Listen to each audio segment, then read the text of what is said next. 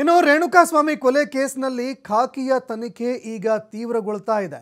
Police ಅಧಿಕಾರಿಗಳು ಇದೀಗ ತನಿಖೆಯನ್ನ ತೀವ್ರಗೊಳಿಸ್ತಾ ಇದ್ದಾರೆ. ಆದಷ್ಟು ಬೇಗ ಈ ಪ್ರಕರಣಕ್ಕೆ ಸಂಬಂಧಪಟ್ಟಂತೆ ಚಾರ್ಜ್ ಶೀಟ್ ಸಲ್ಲಿಸೋದಕ್ಕೆ ಅಂತ ಪೊಲೀಸ್ ಅಧಿಕಾರಿಗಳು ಮುಂದಾಗ್ತಾ ಇದ್ದಾರೆ. ಪ್ರಕರಣ ಒಂದು ಅಂತಿಮ ಹಂತಕ್ಕೆ ತಲುಪಬೇಕು, ಅಂತಿಮ ಘಟ್ಟಕ್ಕೆ ತಲುಪಬೇಕು. ಅದೇ ರೀತಿಯಾಗಿ ಪ್ರಕರಣಕ್ಕೆ ಸಂಬಂಧಪಟ್ಟಂತೆ ವೇಗವಾಗಿ ತನಿಖೆ ಆಗಬೇಕು. ಎಲ್ಲ ಪ್ರಕ್ರಿಯೆಗಳು ಕೂಡ ಆದಷ್ಟು ಬೇಗ ಮುಗಿಬೇಕು.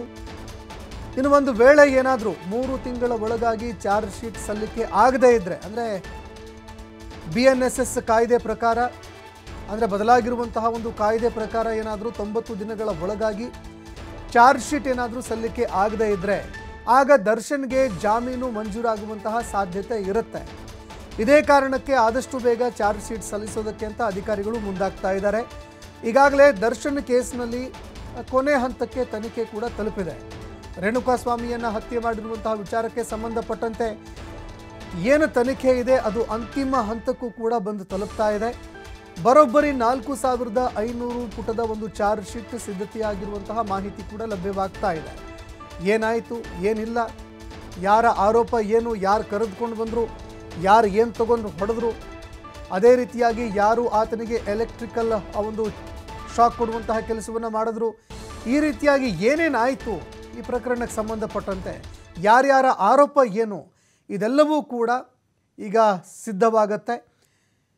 ಬರೋಬ್ಬರಿ ನಾಲ್ಕು ಸಾವಿರದ ಐನೂರು ಪುಟದ ಒಂದು ಚಾರ್ಜ್ ಶೀಟ್ ಸಿದ್ಧತೆಯಾಗಿರುವ ವಿಚಾರಕ್ಕೆ ಸಂಬಂಧಪಟ್ಟಂತೆ ಟಿ ವಿ ಫೈವ್ ಕನ್ನಡಕ್ಕೆ ಮಾಹಿತಿ ಲಭ್ಯವಾಗ್ತಾ ಇದೆ. ಇದುವರೆಗೂ ಸು, ಸರಿಸುಮಾರು ನೂರಕ್ಕೂ ಹೆಚ್ಚು ಸಾಕ್ಷ್ಯಗಳ ಒಂದು ಸಂಗ್ರಹಣೆ ಕೂಡ ಆಗಿದೆ. ಆ ಸಾಕ್ಷ್ಯಗಳಿಗೆ ಸಂಬಂಧಪಟ್ಟಂತೆ ಡಿ ಎನ್ ಎ ಪರೀಕ್ಷೆ ಆಗಿರಬಹುದು ಎಫ್ ಎಸ್ ಎಲ್ ವರದಿಗಳಾಗಿರಬಹುದು ಏನೇನೆಲ್ಲ ಆಗಬೇಕು ಎಲ್ಲವೂ ಕೂಡ ಆಗಿ ವರದಿಗಳು ಕೂಡ ಪೊಲೀಸ್ ಅಧಿಕಾರಿಗಳ ಕೈ ಸೇರಿದೆ. ಇನ್ನು ಕೇಸ್ನಲ್ಲಿ ಇನ್ನೂ ಎಂಟು ರಿಪೋರ್ಟ್ಗಳು ಮಾತ್ರ ಬಾಕಿ ಉಳಿದುಕೊಂಡಿದ್ದಾವೆ. ಕೆಲವೇ ಕೆಲವು ದಿನಗಳಲ್ಲಿ ಕೋರ್ಟ್ಗೆ ಚಾರ್ಜ್ ಶೀಟ್ ಸಲ್ಲಿಕೆ ಆಗತ್ತೆ. ಇದೇ ಕಾರಣಕ್ಕಾಗಿ ದರ್ಶನ್ ಅವರ ಸಂಕಷ್ಟ ಮತ್ತಷ್ಟು ಹೆಚ್ಚಳ ಆಗುವಂತಹ ಸಾಧ್ಯತೆ ಇದೆ. ಯಾಕಂದರೆ ಈಗಾಗಲೇ ಈ ಒಂದು ಪ್ರಕರಣದಲ್ಲಿ ಅವರು ಅರೆಸ್ಟ್ ಆಗಿ ಸರಿಸುಮಾರು ಎಪ್ಪತ್ತು ದಿನಗಳಾಗ್ತಾ ಬಂತು. ಆದರೆ ಈ ಎಪ್ಪತ್ತು ದಿನ, ತೊಂಬತ್ತು ದಿನಗಳ ಒಳಗಾಗಿ ಅವರು ಚಾರ್ಜ್ ಶೀಟ್ ಕೂಡ ಸಲ್ಲಿಕೆ ಮಾಡಬೇಕಾಗತ್ತೆ. ಹೀಗಾಗಿ ಇನ್ನೂ ಕೇವಲ ಹದಿನೇಳು, ಹದಿನೆಂಟು ದಿನ ಮಾತ್ರ ಬಾಕಿ ಉಳಿದುಕೊಂಡಿದೆ.